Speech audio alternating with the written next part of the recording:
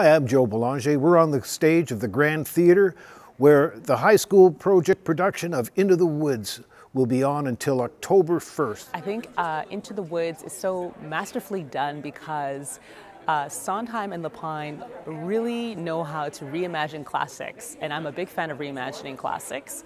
Um, it's taking uh, classic stories that we know and have heard so many times, and it's um, giving it a new life and giving it um, uh, just a different journey that we wouldn't expect. So I think that's really why um, a lot of people resonate with it and it feels fresh today. It could still be done, um, it still transcends 35 years later. There's lots of themes loss, um, a coming of age, tragedy, hope, dreaming, wishes.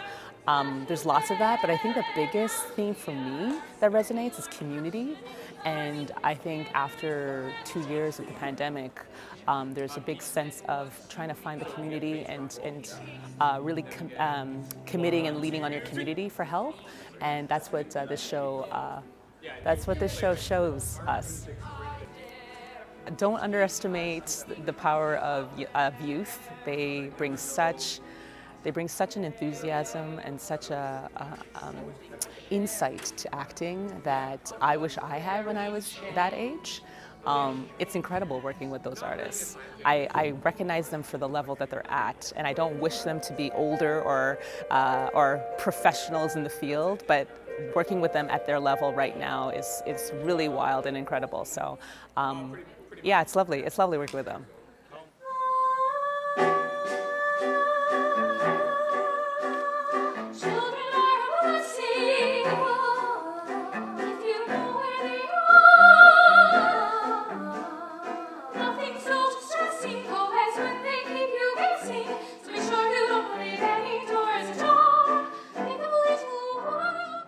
The witch, um, she's a very obsessive mother.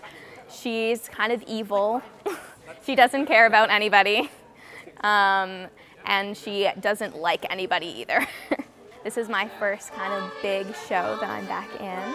So it's, How does it feel? It feels great. This is like the perfect show to be a part of.